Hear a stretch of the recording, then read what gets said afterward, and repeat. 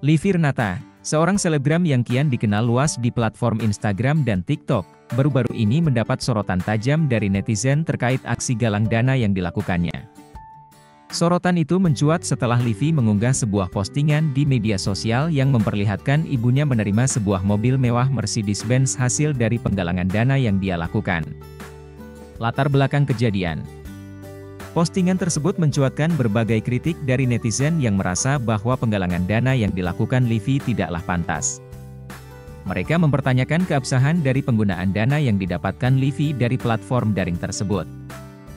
Tanggapan Livi Renata Menyikapi kritik tersebut, Livi Renata memberikan tanggapannya melalui saluran broadcast di Instagram pribadinya. Dia menjelaskan bahwa dana yang dia terima berasal dari konten eksklusif yang dia hasilkan di platform tersebut.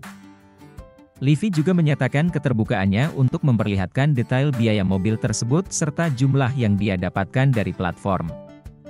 Dalam tanggapannya, Livi menegaskan bahwa dia memahami bahwa banyak orang memiliki pendapat berbeda mengenai tindakan yang dia lakukan.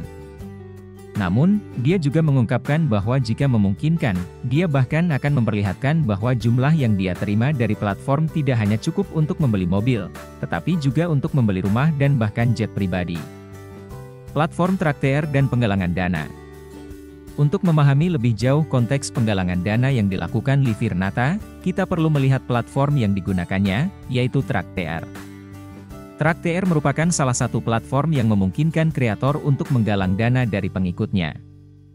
Melalui platform ini, netizen dapat memberikan dukungan finansial dengan menggunakan mata uang khusus bernama Daruma.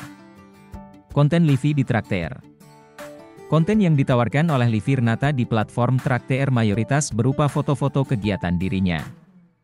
Harga konten tersebut bervariasi, mulai dari 5 hingga 8 daruma, dengan konten khusus bahkan mencapai harga 12 daruma. Meskipun belum ada informasi yang pasti mengenai jumlah daruma dan nilai dalam rupiah yang diterima Livi dari penggalangan tersebut, beberapa netizen telah mencoba menghitung perkiraan pendapatan yang dia dapatkan.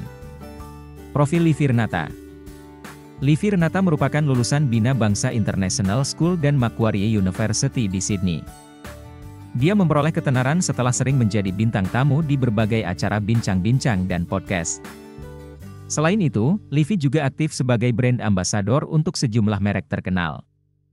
Dia juga mempertahankan popularitasnya melalui konten YouTube yang telah berhasil mendapatkan lebih dari 1 juta subscriber sejak 2021. Melalui berbagai kesempatan tersebut, Livi Renata terus menghibur dan menginspirasi pengikutnya dengan konten-konten yang dia buat di berbagai platform media sosial. Dalam menghadapi kritik terkait penggalangan dana yang dilakukannya, Livi Renata memberikan tanggapannya dengan transparan dan terbuka. Dia menjelaskan bahwa dana yang dia terima berasal dari hasil konten eksklusifnya di platform Traktir. Namun, seperti yang dia sampaikan, tanggapan terhadap tindakannya tetaplah menjadi hak netizen untuk menilai.